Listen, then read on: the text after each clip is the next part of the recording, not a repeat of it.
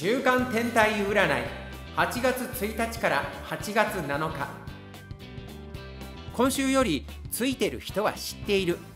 天体の動きをサブタイトルにいつものペアでお届けします。ハオハオ。いつもご視聴ありがとにゃすっかり恒例となって嬉しいにゃ。今週もいつも通り週間占いをお届けしますにゃ。ところで週間天体占いでは10天体の動きからアドバイスを行うにゃ。アリス先生。いつも通り10天体から解説よろ。はい、えー、まず太陽月水星金星火星木星土星天王星海王星冥王星の10天体のことを言いますが太陽は引き続き8月23日まで0時45分まで獅子座に滞在しています。太陽は獅子座にいる時が最もエネルギーを出せる時だと考えていますけども獅子座はお羊座同様子供チックな星なんですよ。遊び心を大切に童心を思い出してみると良いかもしれないと思います。で開運のポイントっていうのがこちらのチャンネルは同年代のご視聴者が多いのでおすすめは思い出のアルバムをめくってみるっていうのが良さそうな気がします。月は7月31日の20時57分からヤギ座に入って8月の3日にはの3時10分には水亀座に移動し8月の5日11時27分に魚座に移動し8月の7日22時44分にお羊座へとこういった動きをするんですけどもあなたはあの遊び心を忘れずに反面真面目に責任感を持ちながら人との交流からヒントをもらうと良さそうですし想像力を生かして新しいおも、えっと、ものを生み出せる可能性があります。8月4日は水亀座の満月もあって明日20時30分には水亀座の満月のメッセージを更新予定です。気になる方は通知を受け取ってにゃ。アリス先生今週の運勢はどんな感じにゃ？はい。サイクルとしては満月あたりで何かの結果が出てそこから少し行動力が低下するかもしれないんですけれどもこの間も鑑定でねお客様がやる気が出ないっていうことでご自分をこうちょっと責めがちという方がいらっしゃったんですけどもそんな時があっても OK なんですよ。よくもうそういう時は睡眠をとって充電されたらいいかと思います。アリス先生も時々ネジが切れたようにパタンと動けなくなる時があるけどあなたは基本動きすぎだから我が輩疲れるにゃやんまにゃ失礼なじっとしてい。られへんのやじゃあじゃあ今週の恋愛運も教えてにゃはい。8月8日まで金星が双子座にい。ますが今後蟹座へと、まあ、移動するとい。う動きがあるんですね次までは双子座にい。ますので例えば相手と親密になるためには会話が重要な鍵を握っているんですよ。双子座の金星が巡るこの1週間は合理的なスタイルで相手が求めることや臨機応変さが大切になります。8月5日は水亀座の月と双子座の金星がトラインに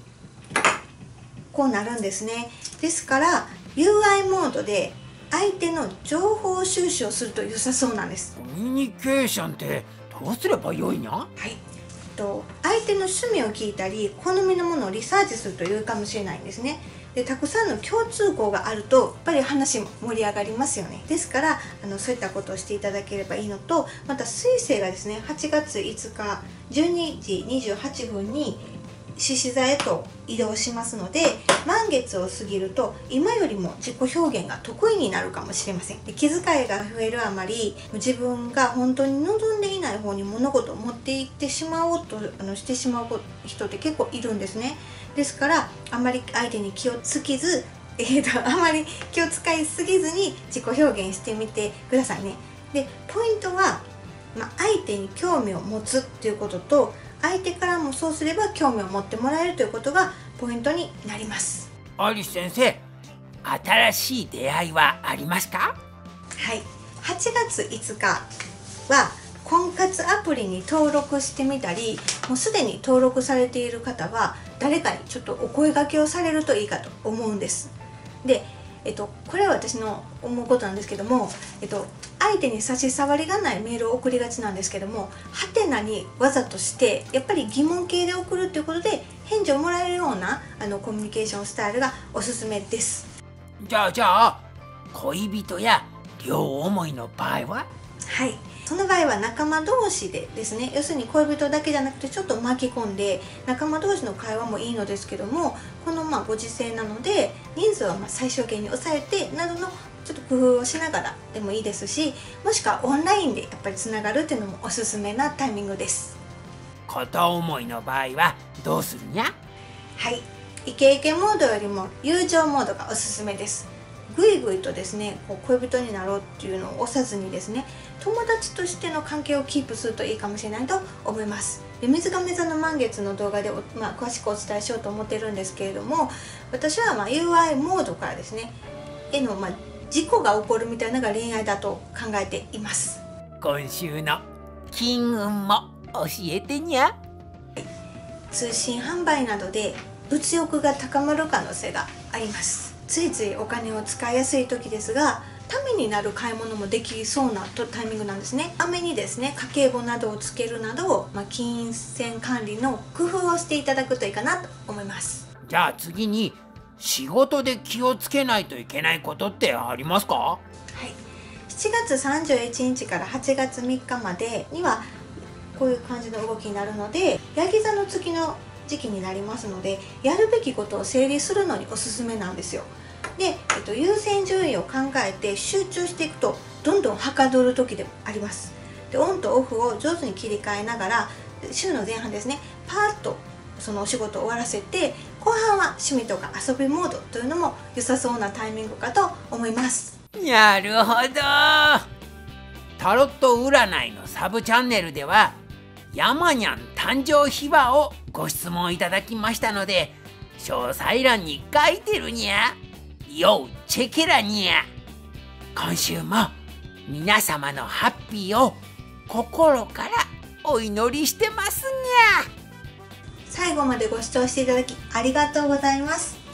ありがとうにゃ。このチャンネルでは新月満月のメッセージ12星座別の運勢先生術講座などをアップしていますもし少しでも気に入っていただけましたらチャンネルご登録していただけると嬉しく思います高評価やコメントもよろしくにゃ。